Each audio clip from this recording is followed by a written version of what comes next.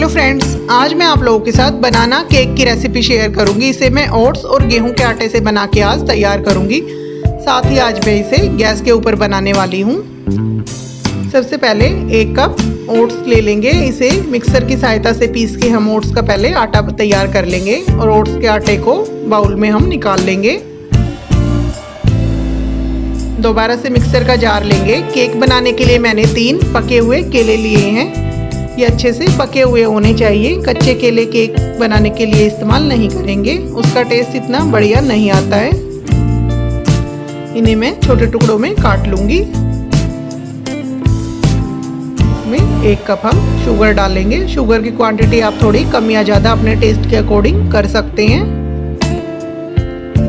Half cup इसमें melted घी मैंने इस्तेमाल किया है। आप घी की जगह ऑयल ले सकते हैं या मेल्टेड बटर का इस्तेमाल कर सकते हैं। हाफ़ टेबल स्पून इसमें अब हम बेकिंग पाउडर डालेंगे। बेकिंग पाउडर से हमारा केक अच्छे से फूल जाता है।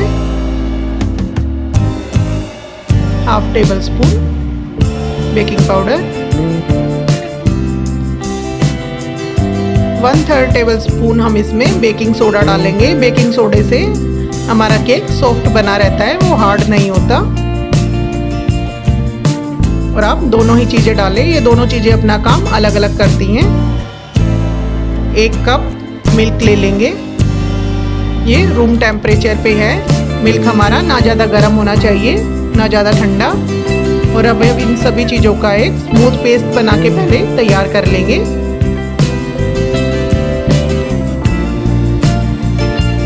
अब एक कटोरी गेहूँ का आटा लेंगे हम। साथ ही वो ओट्स वाले आटे में हम डाल लेंगे। और अब जो हमने बनाना वाला पेस्ट बना के रखा है, वो हम इसमें डाल लेंगे और इसका अब हम बैटर बना के तैयार करेंगे। हल्के हाथों से चलाते हुए आप इसे अच्छे से मिलाएँ।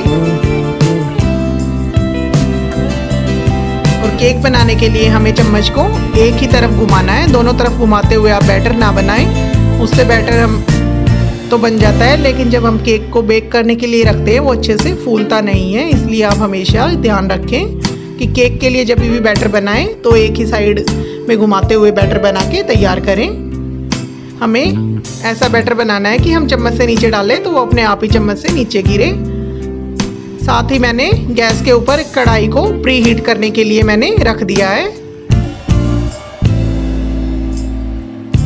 अब मैंने एक ट्रे लिया है, इसे ग्रीस करके मैंने रख लिया है और नीचे मैंने बटर पेपर लगाया है। अब हम सारा बैटर इसमें डाल लेंगे। अगर आपके पास बेकिंग ट्रे नहीं है तो आप किसी सिल्वर के बर्तन में भी केक बना सकते हैं, लेकिन स्टील वाले बर्तन में केक बनाने में थोड़ा ज़्यादा समय लगता है। इसलिए आप हो सके तो बेकिंग ट्रे या सिल्वर वाले बर्तन में ही केक बना के तैयार करें। इसे हल्का सा टैप करेंगे। साथ ही इसमें मैं ऊपर से काजू डाल रही हूँ। काजू ऑप्शनल हैं। अगर आपको अच्छे लगते हैं तो आप डाल सकते हैं। आप स्किप कर सकते हैं। अब ये हमारी कढ़ाई है जो ये प्री हीट हो चुकी है। मैंने इसमें नीचे नमक डाल दिया था। एक कटोरी या स्टैंड आप इसमें रखें और केक को हम बेक होने के लिए रखेंगे। मैंने 10 मिनट के लिए प्री हीट होने के लिए पहले छोड़ा था कढ़ाई को। अब हम इसे ढक के 30 से 40 मिनट के लिए मैं इसे बेक कर लूँगी और एक बार मैं इसे बीच में खोल के देखूँगी। मैंने इसे बीच में खोल के देखा था, लेकिन ये कच्चा था तो मैंने इसे 40 मिनट के बाद अब मैं इसे देख रही हूँ। आप टूथपिक से या नाइफ से इसे चेक करें, ऐसे डाल के एकदम क्लियर ये बाहर निकल रही है। और इसका कलर भी कितना अच्छा आ गया है। गैस को बंद कर देंगे और इसे हम ठंडा होने के लिए छोड़ देंगे। पहले हम इसे किनारियों से अलग कर लेंगे। आप ये बात हमेशा ध्यान रखें। ठंडा हो जाने के बाद ही केक को आप बाहर निकालें। अगर गर्म केक आप बाहर निकालेंगे तो आपका केक टूट जाएगा।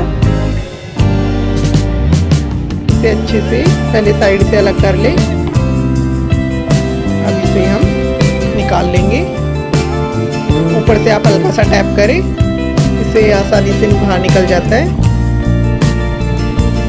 तो देखिए कितना बढ़िया और एकदम क्लीन हमारा केक निकल के आया है। ऊपर से हम ये बटर पेपर पहले हटा लेते हैं। अगर आपके पास बटर पेपर नहीं है तो आप अच्छे से इसे ऑयल से ग्रीस करके भी बना ले। तो भी हमारा केक अच्छे से निकल जाता है। कितना सॉफ्ट हमारा केक बना है। अब मैं एक बार इसे सीधा कर लेती हूँ।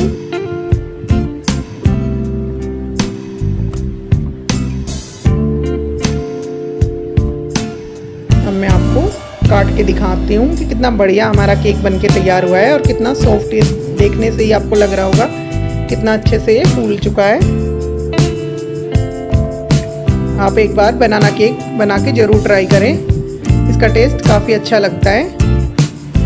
अब मैं आपको दिखाती हूँ, देखिए कितना बढ़िया ये पका है और नीचे से भी मैं आपको दिखाती हूँ कि कितना अच्छा ये पक चुका है। आप भी घर में बनाना केक आसानी से कढ़ाई में बना के तैयार कर सकते हैं और अपने बच्चों को बनाना केक बना के ज़रूर खिलाएँ।